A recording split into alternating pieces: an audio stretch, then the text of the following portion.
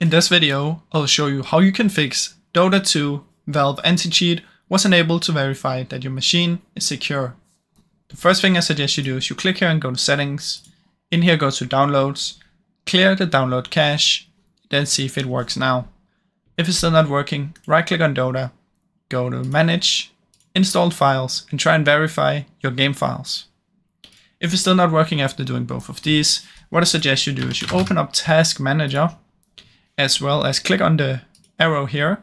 Check if you have anything open in the background that could be some sort of interfering with the VAC anti-cheat.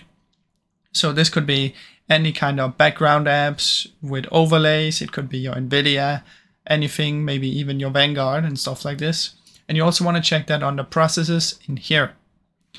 Now, once you've done that and you made sure you don't have that open, if it's still not working, the last solution is you want to try and reinstall Dota.